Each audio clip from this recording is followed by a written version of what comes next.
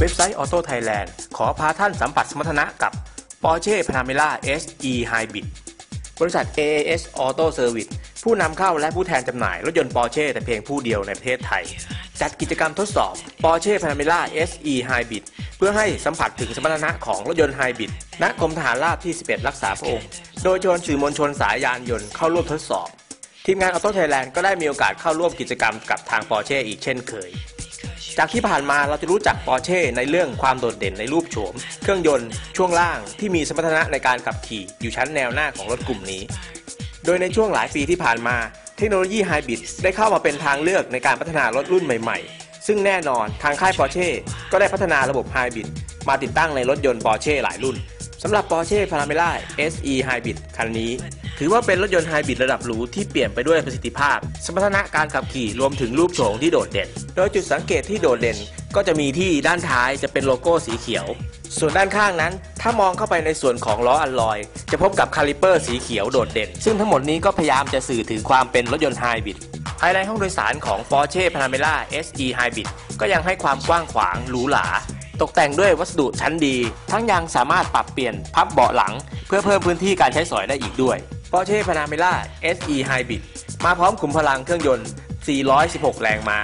ส่งกำลังผ่านระบบเกียร์ Tiptronic S 8 speed ที่ได้รับการพัฒนาให้ประหยัดน้ำมันเชื้อเพลิงดีขึ้น และในขณะเดียวกันประสิทธิภาพในการขับเคลื่อนรถไฟฟ้าก็พัฒนาขึ้นอีกด้วย Porsche Panamera S E-Hybrid สามารถวิ่งด้วยมอเตอร์ไฟฟ้าอย่างเดียวได้ระยะทางไกลถึง 36 กิโลเมตร ตามสเปคโรงงาน แต่ค่าเฉลี่ยในการใช้งานรูปแบบการขับขี่ทั่วไปจะอยู่ที่ 18 ถึง 36 กิโลเมตร และสามารถทำความเร็วในโหมดของการใช้ไฟฟ้าอย่างเดียวได้ที่ 135 กิโลเมตรต่อชั่วโมง อัตราเร่ง 0 ถึง 100 กิโลเมตรต่อชั่วโมงทำได้รวดเร็วเพียง 5.5 วินาที และเมื่อเราต้องการกำลังขับเคลื่อนที่รวดเร็ว เพียงคลิกดาวน์ลงไป มอเตอร์ไฟฟ้ากับเครื่องยนต์จะประสานการทำงานอย่างรวดเร็ว โดยสามารถทำความเร็วสูงสุดได้ที่ 270 กิโลเมตรต่อชั่วโมง อีกปัจจัยหนึ่งที่มีความสำคัญในการใช้รถไฮบริดก็คือ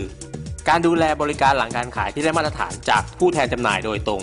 อย่างบริษัท AAS Auto Service ซึ่งให้การรับประกันจากโรงงานปอร์เช่ประเทศเยอรมนีนานถึง 9 ปีสำหรับ Porsche Panamera SE Hybrid ตัวนี้ สามารถชาร์จไฟได้ 2 รูปแบบคือ ในระหว่างการขับขี่ และระบบปลั๊กอิน ที่สามารถใช้งานกับไฟบ้านได้อย่างง่ายดายช่วงทดสอบ Porsche Panamera SE Hybrid กับทีมงาน Auto Thailand สำหรับภาพรวมของการทดสอบครั้งนี้ ทาง Porsche ได้เน้นให้สัมผัสถึงการทำงานและสมรรถนะของระบบไฮบริดใหม่ ซึ่งไม่ได้เน้นไปในเรื่องของความเร็วสูงสุด รูปแบบการทดสอบจึงเป็นการขับวนในพื้นที่ลานสนามกรมทหารราบที่ 11 ไม่ให้เกินนั้นนะเพราะว่าถ้าเกินนั้นมันจะพุ่งเกินไปแล้วมันก็จะกลายเป็นเครื่องผสมมันเลยแต่ด้วยตัวมันเองเนี่ยศูนย์ถึงร้อยก็ประมาณ 14 วิก็ถือว่าพอแล้วครับครับตาม traffic ในกรุงเทพสบายนั่นแสดงว่าเราก็วิ่งประมาณ สี่ห้าเสร็จแล้วก็น้ำปั่นเองจะบอกว่าตอนนี้วิ่งได้ไฟฟ้าอย่างเดียวเลยนะครับไม่มีเกิดเลยได้ได้19กิโลเก้ากิโลเต็มที่มันได้ประมาณ26ครับแล้วก็ความเร็วสูงไฟฟ้าอย่างเดียวเลยครับแล้วก็ความเร็วสูงสุดของไฟฟ้าอย่างเดียวก็ได้ประมาณสัก130ครับมันก็เร็วเร็วพอนะโอ้ร้อยสามสิบผมว่าก็ ว่าพอแล้วก้าวเข้าสู่ห้องโดยสารในตำแหน่งผู้ขับขี่ก็สามารถสัมผัสได้ถึงความสปอร์ตในสไตล์รถยนต์ปอร์เช่ด้วยเบาะนั่งและพวงมาลัยที่ให้ความกระชับถนัดมือ ทันทีที่หมุนปุ่มสตาร์ทเครื่องยนต์ เข็มมาตรวัดระบบไฮบริดจะชี้ไปที่ ready ในบริเวณแถบสีเขียว แสดงว่าพร้อมสำหรับการขับเคลื่อนด้วยมอเตอร์ไฟฟ้า โดยสามารถเลือกโหมดการขับขี่ได้ 2 รูปแบบคือ e-power และ e-charge โดยในการทดสอบในรอบแรกจะให้ทดสอบขับในโหมดของ e-power ที่เป็นการใช้พลังงานมอเตอร์ไฟฟ้าขับแบบไฮบริดล้วนอันนี้ไม่ใช่วันรอบๆเคลื่อนตัวออกจากจุดหยุดนิ่ง เรียกว่าพลังพลังที่ส่งออกมา แทบไม่ต่างอะไรจากเครื่องยนต์เบนซินเลยทีเดียว ผู้ขับขี่สามารถกดคันเร่งได้เป็นปกติ โดยคันเร่งของครึ่งแรกของการเหยียบจะรู้สึกเบา ซึ่งจะเป็นการขับขี่ในโหมด e-power ซึ่งถ้าเลยครึ่งส่วนนี้ไปแล้วก็จะหนืดขึ้น เครื่องยนต์ก็จะติดขึ้นมาช่วยส่งกำลัง แต่จะมีตัวช่วยอีกตัวที่หน้าปัด จะมีเข็มวัดคล้ายวัดรอบ แสดงการทำงานของระบบไฮบริด โดยจะมีช่วงการทำงานอยู่บนแถบสีเขียว เช่นกัน เมื่อเราขับขี่เลยแถบสีเขียวไปแล้วก็จะเข้าสู่การทำงานของโหมดเครื่องยนต์ เอาเป็นว่าถ้าจะใช้กำลังจากมอเตอร์ไฟฟ้า ก็ขับขี่อย่าให้เข็มวิ่งเกินพื้นที่สีเขียว ส่วนอีกโหมดของการขับขี่หนึ่งก็คือโหมด e charge ที่จะใช้การทำงานของเครื่องยนต์เป็นหลักในการขับขี่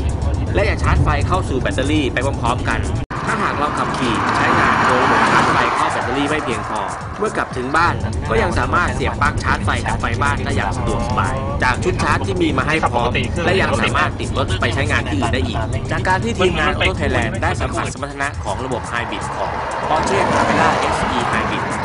อยากบอกว่าเหมาะมากกับการใช้งานในเมืองที่มีการจราจรติดขัด หรือเคลื่อนตัวช้า เนื่องจากช่วยประหยัดเชื้อเพลิงและไม่มีมลพิษอีกต่างหากทั้งยังให้พลังพลังที่เหลือเฟือในการขับเคลื่อน แม้ต้องลากตัวถังที่ใหญ่โตขนาดนี้ก็ไม่ใช่ปัญหา ส่วนในยามที่ต้องเร่งแซงหรือใช้ความเร็วสูง ทั้งเครื่องยนต์และมอเตอร์ไฟฟ้า ก็จะประสานการทำงานได้อย่างราบรื่นรวดเร็วทันใจ ถือเป็นรถสปอร์ตไฮบริดหรูที่น่าใช้คันหนึ่งเลยทีเดียว